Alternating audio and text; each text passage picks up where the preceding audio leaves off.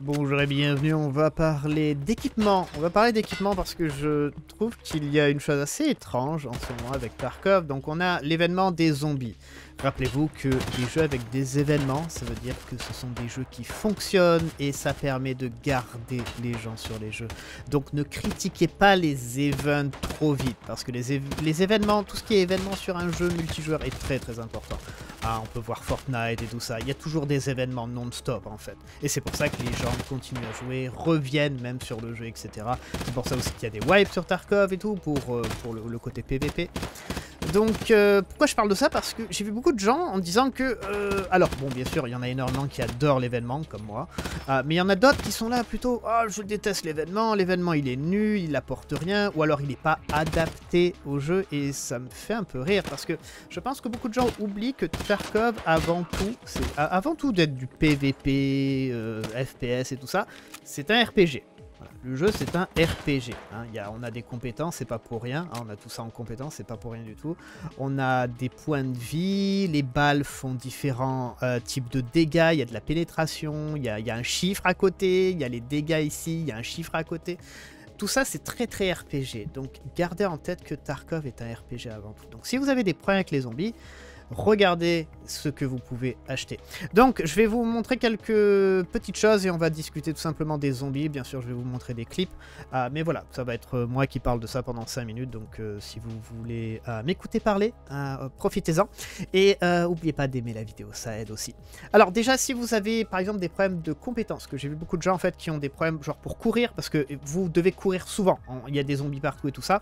Petite parenthèse, profitez-en pour faire vos quêtes sur les zones qui sont extrêmement chiantes. Par exemple, moi j'ai fait des quêtes euh, juste pour vous montrer quelques quêtes, il y avait une quête par exemple de Fence où je devais tuer seulement les gardes d'un boss. Et en ce moment, il y a Rechala qui est à 100% par exemple. Et Rechala est un ami pour le moment. Donc faites ça, profitez-en. Vous avez aussi Lightkeeper où vous devez tuer par exemple 15 fois chaque boss. Bon, donc Rechala est pour le moment à 100% sur Custom. Donc allez-y, profitez-en. Vous pouvez faire des choses comme ça. Et après, donc pour le moment, il y a euh, Custom qui est sans zombies, mais le reste a des zombies partout. Donc profitez-en parce que euh, il y a Streets of Tarkov, je sais qu'il y a énormément de gens en fait qui ont des problèmes avec cette carte là extrêmement grande, euh, même des gens n'arrivent pas bien à la faire euh, tourner en fait en général, et extrêmement difficile à, apprendre tout simplement, et les quêtes peuvent être très compliquées. Donc profitez-en parce que là il n'y a que des zombies, et du coup il n'y a pas les boss qui vous, qui vous font chier, il n'y a pas les snipers, parce qu'il y a beaucoup de snipers sur Streets of Tarkov, il n'y a pas les scavs, il y a quasiment pas de PMC. Donc profitez-en en fait. Prenez cet événement comme une opportunité en fait de, réfléchir par rapport à ce que vous pouvez faire en fait. Donc, euh, voilà, ça c'était vraiment la, parenthèse par rapport aux quêtes. Mais voilà, il y, a énormément de quêtes en fait qui sont extrêmement reloues euh, en temps normal et là elles deviennent extrêmement simples. Maintenant, nous allons repartir dans ce que j'étais en train d'expliquer par rapport aux compétences. Donc, vous n'avez pas besoin d'avoir maître partout pour survivre aux infectés. Maintenant, on a un peu compris comment les infectés, fonctionnaient. Euh, ils arrivent par vague, après il y a beaucoup d'ennemis d'un côté, et la plupart du temps, vous allez devoir en fait courir, sprinter, et vous avez très peu de temps en fait où vous allez pouvoir faire des pauses pour récupérer votre endurance. Donc ça, c'est un problème. Donc, pensez avant tout de prendre les problèmes et d'essayer de, de les contrer avec ce que vous avez à votre disposition. Tarkov est arrivé à un point où vous avez tellement d'options par rapport aux équipements, aux balles, aux armes, aux, choses que vous pouvez faire pour vous soigner, les stimulants, les, les, compétences et tout ça, vous allez pouvoir contrer absolument tous les problèmes que vous rencontrez. Donc comme j'ai dit, vous allez porter peut-être plus de chargeurs, plus de balles, donc vous allez être plus lourd, donc vous allez avoir un problème de force. Plus vous êtes lourd, plus votre endurance en fait va baisser. Donc ça c'est un problème. Maintenant on va contrer ça tout simplement. Et il y a des façons en fait extrêmement simples de contrer ça. Donc il y, a, par exemple celui-là, Meldonin. Le Meldonin est juste le, super injecteur en fait pour ce genre de choses. Et ça dure 900 secondes. Vous avez force plus 10, vous avez euh, endurance plus 20. Et pendant 900 secondes, ça remet votre endurance plus 0,5. C'est énorme, c'est énorme. Juste prenez ça, piquez-vous avec ça dès le début de votre mission si vous partez en mission avec des zombies. et là, vous aurez nettement moins de problèmes en fait euh, pour tout ce qui touche en fait l'endurance tout simplement. Vous aurez nettement moins de problèmes. Euh, pensez aussi aux boissons. Moi, j'aime beaucoup utiliser des max énergie. Les max énergie, c'est assez sympa. Endurance plus 1. Euh, Mac Drill aussi. Et euh, surtout l'endurance plus 1, en fait, tout simplement. Pendant 3 secondes, vous avez endurance plus 1. C'est peut-être plus 1, mais ça fait quand même quelque chose, c'est intéressant, c'est important. Et il y a plein, en fait, de boissons, en fait, ou de, nourriture que vous pouvez utiliser par rapport à ça. Mais bon, on est plutôt dans les injecteurs pour le moment. Mais voilà, ça, c'est peut-être un, bon combo. C'est pour ça que je vous montre ça. Et après, si vous avez des problèmes, par exemple, je sais que les infectés, en fait, utilisent des 45, souvent, des, pistolets 45, ça fait très mal. C'est-à-dire qu'à chaque fois que vous allez vous prendre une balle de 45, la plupart du temps, euh, que ce soit le bras ou la jambe, ça va vous briser la jambe ou le, ou le, bras, ou alors même vous faire saigner. Donc vous allez devoir contrer ça. Si jamais vous, vous devez courir dans une rue, par exemple sur Street of Tarkov, et vous savez qu'il y a énormément de zombies et que vous allez vous faire tirer dessus, utilisez des, des antidouleurs avant de commencer à courir. Ça, c'est un peu le, côté PVP, je pense que tout le monde déjà connaît ça. Mais sinon, utilisez un Propital, tout simplement. Vous avez pendant 200, 240 secondes, vous êtes immunisé à la douleur, donc vous allez pouvoir courir, même si votre euh, jambe est brisée, par exemple. Et vous avez un régène aussi euh, pendant 300 secondes. Donc voilà, si vous faites un tout petit peu toucher, par exemple, vous prenez une baffe quand vous courez, et ben là, vous allez pouvoir continuer à courir et vous serez full vie il n'y a pas de problème. Donc voilà, prenez des choses en fait comme ça qui va vous permettre euh, de, contrer en fait tous ces petits problèmes. Et à chaque fois, l'utilisation c'est 2 secondes, donc l'estime c'est vachement utile. Si jamais vous avez des gros problèmes de soin, sortez ça. Donc pendant 60 secondes, vous avez un 6.5 de régène, c'est énormissime ça. Ça, ça sauve la vie, vous êtes quasiment invincible grosso modo. Euh, là aussi, si vous avez beaucoup de saignements, parce que encore une fois, les 45 peuvent causer des gros saignements et tout ça, c'est un problème. Au lieu d'utiliser donc le truc basique, par exemple le caloc, utilisez le sang bleu, donc le perfo torrent, donc blue blood, donc c'est le sang bleu. Vous avez pendant 60 secondes, en fait, vous êtes immunisé au saignement. Euh, donc vous risquez rien pendant 60 secondes et vous avez euh, un régène de 1.5 pendant 60 secondes. Donc ça aussi très très intéressant, très très intéressant.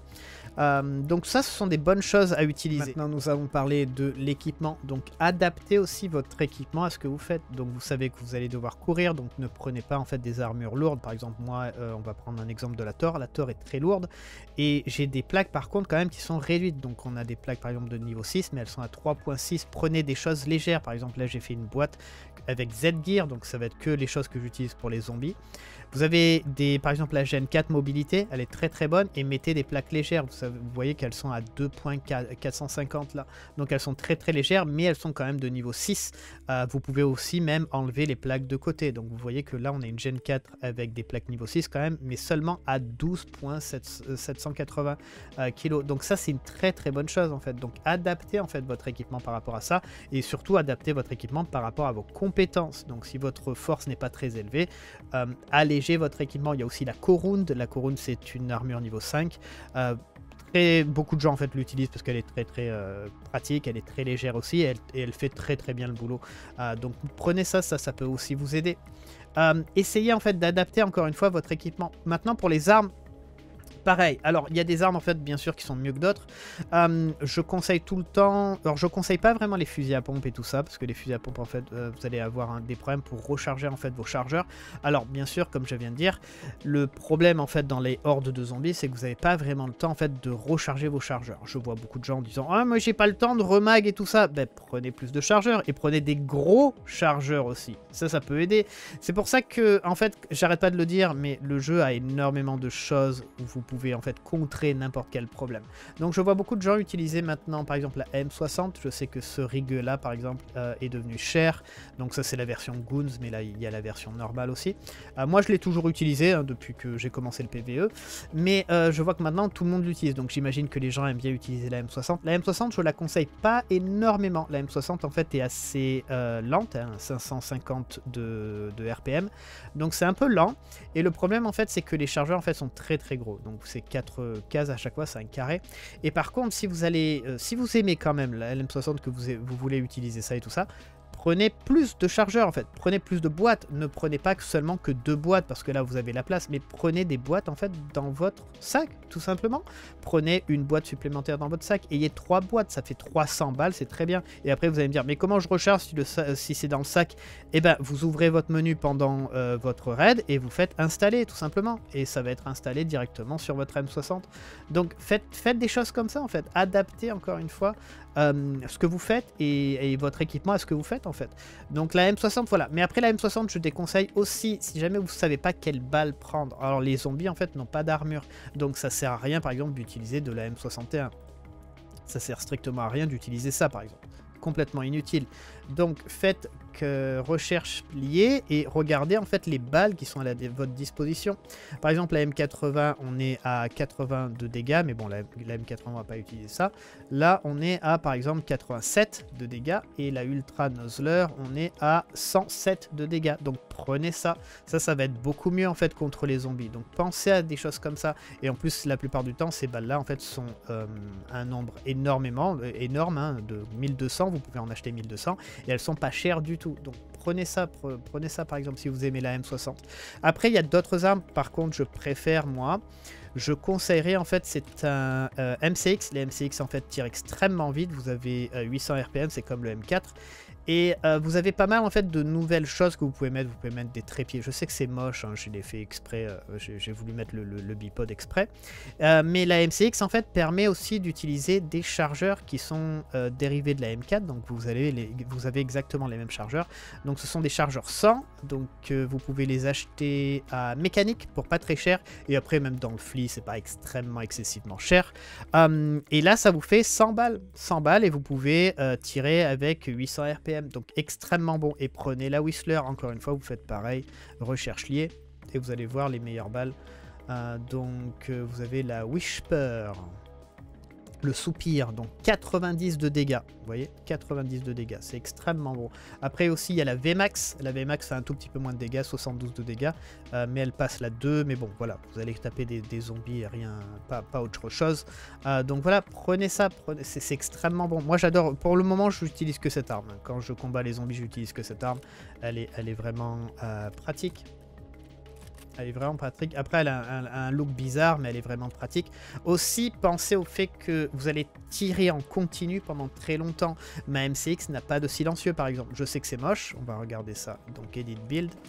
Euh, je sais que c'est moche. Je peux même mettre, rajouter un silencieux, en fait. Hmm, Ouais, je peux mettre un silencieux, mais je le mets pas. Pourquoi? Parce que je sais que ça va faire chauffer le silencieux et l'arme va s'enrayer extrêmement vite. Là, je peux tirer littéralement les 100 balles sans que l'arme s'enraye. Donc faites ça, pensez à ça en fait, adaptez vos armes pour ce que vous faites et c'est pour ça que ça aide énormément. Et après si vous avez des problèmes avec les, euh, les chargeurs 100 euh, balles, donc ça prend 3 cases, prenez un alpha par exemple, l'alpha est très très bon, donc euh, il ressemble à ça. Donc moi c'est comme ça que je pars, moi je pars comme ça la plupart du temps. Je pars avec le, le MCX, donc un chargeur de 100 et après 3 chargeurs supplémentaires de 100, donc j'ai 400 balles en tout. J'ai même pas de balles en fait en réserve je les utilise même pas parce que 400 balles, ça me suffit largement pour tuer tous les zombies qui sont sur mon chemin quand je fais des missions euh, dans, des, zones avec des zombies. Il n'y a aucun problème. J'ai zéro problème avec ça. Pareil pour les sacs. Les sacs aussi. Les sacs ont différents poids. Prenez par exemple celui-là, il est très très bien. Le, Trooper 35, il fait à peu près 1 kg, je crois. On va, on va le vider. Euh, je crois qu'il fait dans les 1 kg. Voilà, il fait tout simplement 1 kg, il a très très peu de debuff, vous voyez, c'est très potable, euh, et il a une grande place. Mais si vous voulez d'autres sacs, il y a d'autres sacs encore plus petits qui sont plus légers, ou alors qui ont moins de debuff de vitesse, parce que oui, la, vitesse est un problème en fait dans, euh, dans cet événement avec les zombies qui vous courent après. Donc n'ayez pas des gros sacs en fait qui ont euh, genre moins 7% de vitesse, c'est complètement débile de faire ça. Ou alors ne vous plaignez pas si vous vous faites taper. Vous voyez, prenez ça, les grenades aussi sont pas extrêmement efficaces si vous voulez vraiment, euh, on va dire, tuer des, zombies avec des grenades, à la limite, prenez des grenades impact si vous en avez beaucoup. Euh, vous voyez, vous adaptez en fait euh, ce que vous faites par, rapport à, par rapport aux zombies, tout simplement, par rapport aux infectés. mais voilà, en tout cas, moi, ça c'est l'équipement que j'utilise la plupart du temps. quand je, vais sur Labs avec les, zombies ou alors sur Street et tout ça.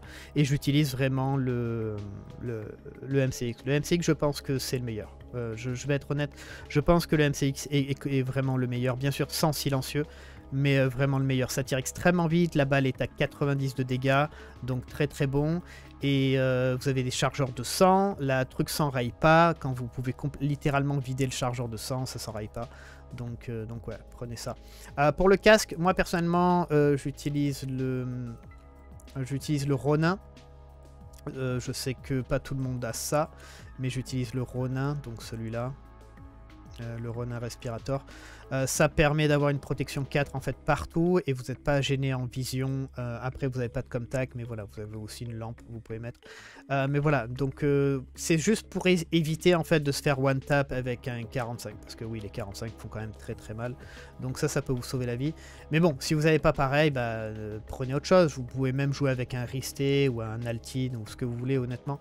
Mais, mais voilà, pour l'équipement, vraiment ajustez-le à ce que vous, vous en train de faire, tout simplement, j'ai envie de dire.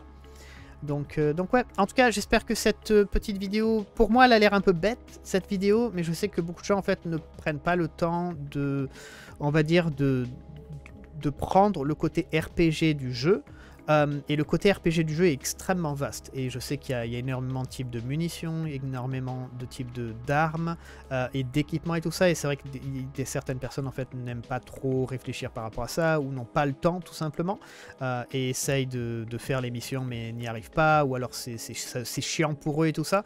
Donc j'espère que ça vous aura enlevé un peu de, frustration en fait d'avoir écouté cette vidéo et de, et de voir un peu ce que vous pouvez faire pour contrer en fait ces infectés.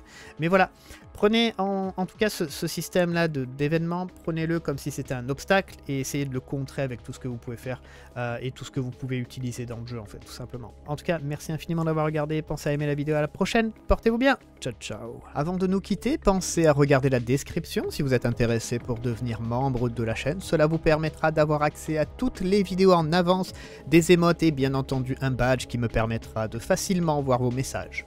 Si vous êtes seulement intéressé par certaines playlists, il n'y a aucun engagement, vous pouvez tout simplement prendre un mois pour regarder toutes les vidéos réservées et annuler la souscription directement.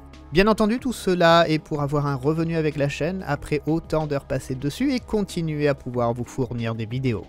Merci infiniment d'avoir pris le temps de m'écouter, faites attention à vous et à la prochaine.